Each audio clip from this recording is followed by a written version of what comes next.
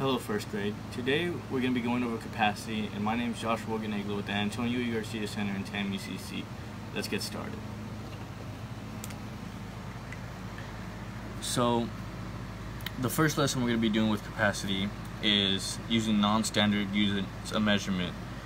And what capacity is, it is a it's what an item can hold within it. So let's say for a, a cup a cup can usually hold a full glass or a full cup of water. And usually when you say when someone says can you go get me a, a cup of water? usually they fill it to the top or halfway. So the capacity would be how much that cup can hold. So for if since we're using non-standard will be non-standard units of measurement for capacity a cup of water is a perfect example of that non-standard unit of measurement. So like, can you go get me a cup of this or a cup of that or like whatever the capacity of it can hold. So like, if we used a bowl, for instance, so we had a bowl and it's like, can you fill me that bowl up with grapes? So it'd be a bowl of grapes. The capacity that that bowl can fill with grapes is what we're concerned with. So we want to know how much grapes can go within that bowl. So for this instance, it'd be nine, for example, just throwing it out there. That's the capacity of the bowl is nine grapes. So a bowl of grapes, we know that the capacity within that bowl is nine grapes. And we can also do like a closet or a trunk or a dresser. If you ever had a dresser, there's a certain capacity within that dresser. So we know each like shelf space can maybe contain four shirts, but a stack of four shirts. So we know that's the capacity of that shelf space that we can put within one thing. And that's it for today. Or thank you, that's it for today. Hello second grade.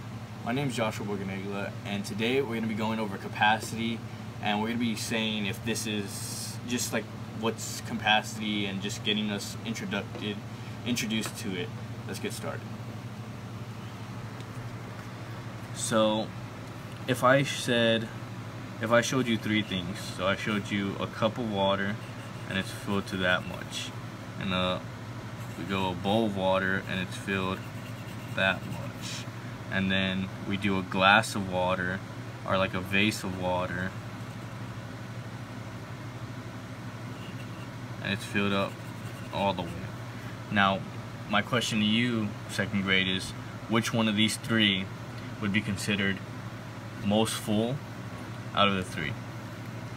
Now, if you said the vase of water, you'd be correct because it's filled all the way to the top, and therefore, and if you look at the three objects, we could see that the vase would hold more capacity. Even if it was maybe a, like 75%, I would still say the vase would be more full because it can hold more within it rather than a cup of water or a bowl.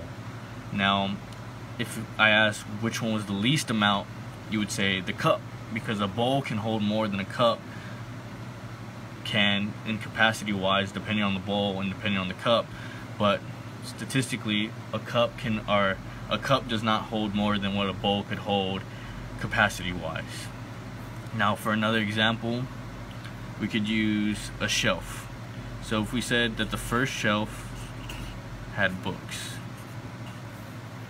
we said the second shelf had um, two pictures. And then the third shelf had um, videos on them. We would ask again which one holds the mo most capacity. Now looking at the three shelves I drew which one to you seems biggest it'd be the one with the videos. Even though videos weigh less than books, we're not asking the weight of the two objects, we're asking which one's holding the more capacity. And that's how some people get mistaken between capacity and weight.